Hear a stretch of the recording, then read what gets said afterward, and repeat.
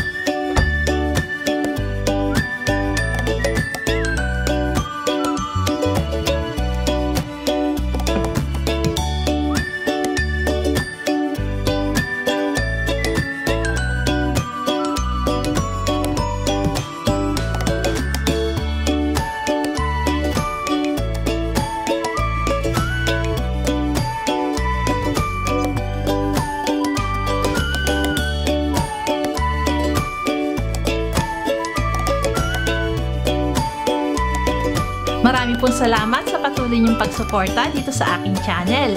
Kung nagustuhan niyo ang recipe, huwag niyong kalimutang mag-like, share, and subscribe. Pakipindot na rin po ang ating notification bell para lagi kayong updated sa mga bagong videos.